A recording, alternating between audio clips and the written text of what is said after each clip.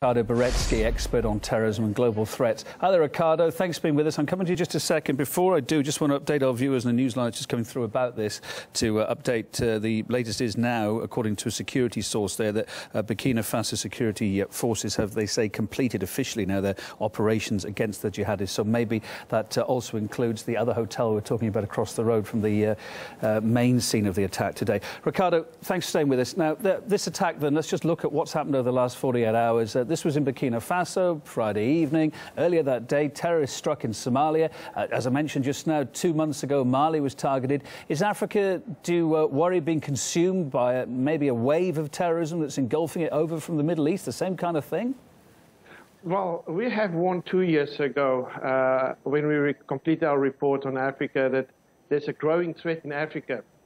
This threat is very uh, real it's not been paid so much serious attention to as the same issue in the Middle East. The, the, we have to understand that Africa um, has a history of terrorism as a whole. And we have to pay attention that this uh, particular terror threat it is expanding their footprint not only in West Africa, but will in the future also expand in the southern part. There are reports that um, jihadists, more and more from small African terror cells, are starting to cross over to Islamic State these days. Begs the question why is ISIL, therefore, uh, maybe more uh, appealing to them these days, do you think? Well, ISIL uh, has an interest in developing their footprint as an Islamic State. But we have to go back to the history of Africa and understand that there's an historical history when it comes to the expanding of this particular footprint long before ISIL came around.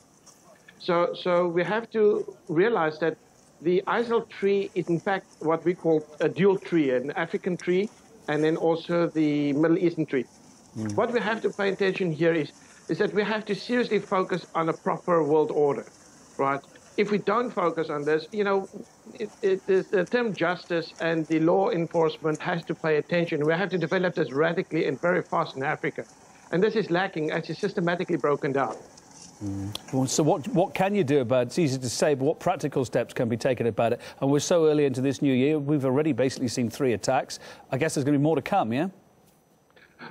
Absolutely. We predict that this is, uh, we have said this last year, and we will repeat this. From ISAF's point of view, our analytical research indicates that this is only the beginning.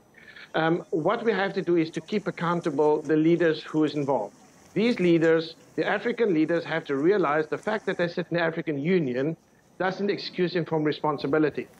They have a responsibility towards not only Europe, but also the rest of the world and the international community.